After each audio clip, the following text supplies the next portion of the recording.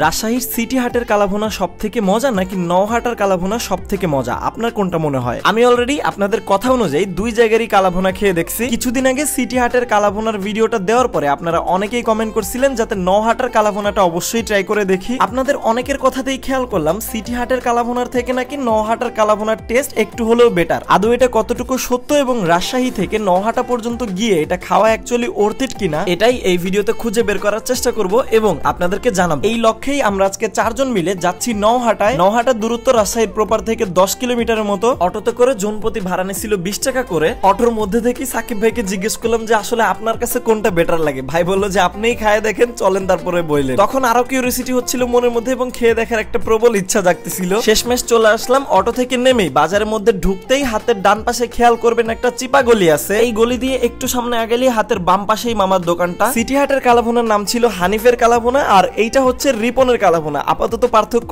এতটুকুই। এইবার শুধু খেয়ে দেখার পালা যে টেস্টে কতটুকু পার্থক্য, আমরা অলরেডি চার প্লেট অর্ডার করে দিছি। খাবারটা দিতে দিতে আমি বরাবরের মতোই মামার সাথে কথা বললাম হ্যান্ডশেক করলাম এবং ফরিদপুর তাকে দাওয়াত করলাম। এইদিকে পাশে আর একটা চুলায় দেখলাম ভরপুর আকারে কালাভুনা রান্না চলতেছে। ভাবতে পারেন এই একটা কড়াইতে চল্লিশ কেজি গরুর মাংসের কালাভুনা রান্না হচ্ছিল। প্রতিবারের মতোই ভাবলাম যে এবারও টেস্টটা একটু বাড়াই দেয় এই জন্য আমি খুন্তিটা হাতে নিয়ে একটু নাড়াচাড়া করতেছিলাম। এদিকে খাবারের প্লেট আর স্যালাদগুলো দিয়ে গেল। তাই আর দেরি না করে হাত ধুয়ে এসে বসে পড়লাম। ভাত সালাদ দেওয়াই ছিল তার কিছুক্ষণ পরেই চলে আসলো সেই বিখ্যাত রিপন মামার কালাভুনা। এইটা প্রথম দেখাতেই বোঝা যাচ্ছিল, হানিফ মামার যে কালাভুনাটা খাইলাম, ওইটার থেকে এইটা বেশি ডার্ক আশা করি ক্যামেরাতে বোঝা যাচ্ছে এটা কতটা ডিপ কালো। এবং তুলনামূলক ঝোলটাও কিছুটা ঘন বলে মনে হচ্ছে হানিফের কালাভুনার থেকে। তো এই কালাভুনাটা নিয়ে ভাতের সাথে মাখিয়ে নিলাম। বেশ সুন্দর একটা স্মেল আসতেছিল আর প্রথমবার মুখে নেওয়ার সাথে সাথেই অমায়িক একটা টেস্ট পাচ্ছিলাম। তবে এই টেস্টটা আমি এখনই বলতে পারব না যে হানিফের কালাভুনার থেকে এটা বেটার কিনা। কারণ হানিফের কালাভুনাটাও খুবই মজা লাগছে আমার কাছে এন্ড এটাও বেশ মজা লাগতেছিল। তবে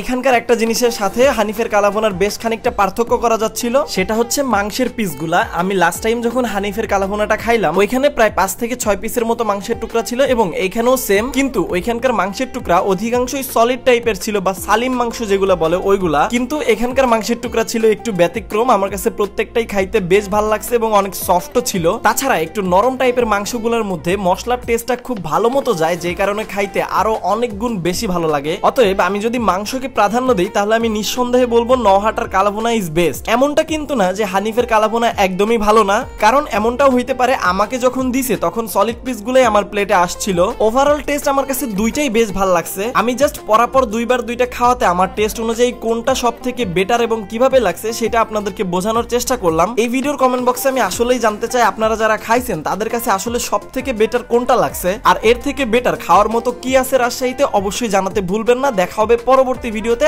আল্লাহ হাফেজ গাইজ